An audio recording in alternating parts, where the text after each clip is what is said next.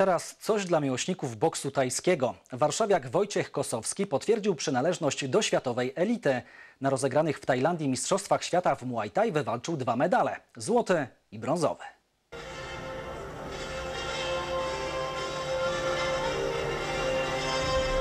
Oto podium w kategorii do 75 kg. Na najwyższym stopniu Wojciech Kosowski.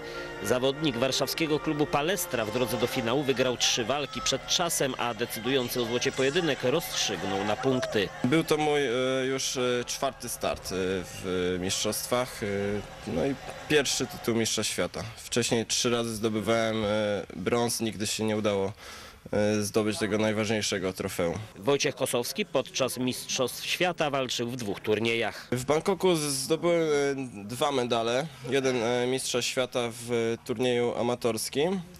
E, Drugi medal jest e, brązowy, który z- zdobyłem na turnieju Pro-Am. W turnieju amatorskim są kaski i opancerzenie tułowia. W e, turnieju Pro-Am e, walczy się bez kasków. A już za tydzień w Świebodzicach Mistrzostwa Polski w K1. Zawodnicy Palestry będą faworytami tej imprezy.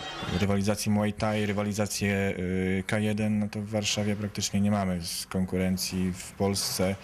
Od bodajże czterech lat jesteśmy najlepszym klubem y, każdych mistrzostw Polski Muay Thai i K1. Oczywiście mówimy tutaj o, o sporcie wyczynowym, o walkach amatorskich. Klub Palestra nie jest nastawiony wyłącznie na wyczyn. Mamy grupy rekreacyjne, do których przychodzi naprawdę sporo ludzi. Ludzie, mm, którzy przychodzą, są zadowoleni. Przede wszystkim przychodzą się pobawić, przychodzą zdobyć sprawność fizyczną, y, miło spędzić czas. Może zatem warto spróbować?